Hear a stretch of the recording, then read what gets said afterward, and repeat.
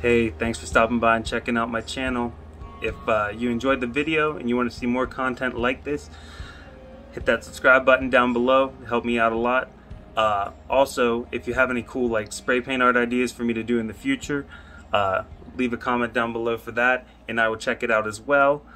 Um, yeah, so thanks for stopping by. My name is Dexx and I will catch you guys in the next one.